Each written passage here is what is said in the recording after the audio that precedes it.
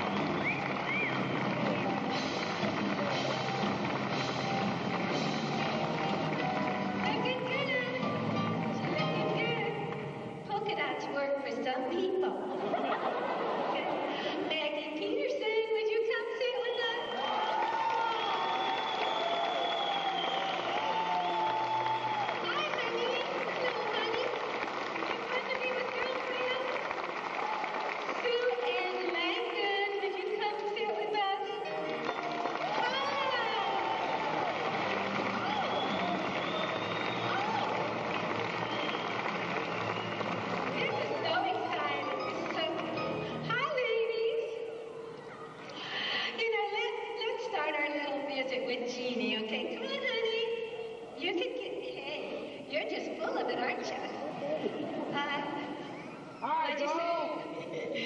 Listen, I first want to thank all, especially all the TAGS people who are here. You've always been so wonderful to me. I've got all the mugs, and I've got lots of t-shirts and stuff from you, and it's just been delightful. And of course, I love all of you fans, because you are truly the, the most wonderful people in the world. And for to think that we're lucky enough to have had you remember us all these years. It's just been great, and thank you so much. Thank you. Hi, honey.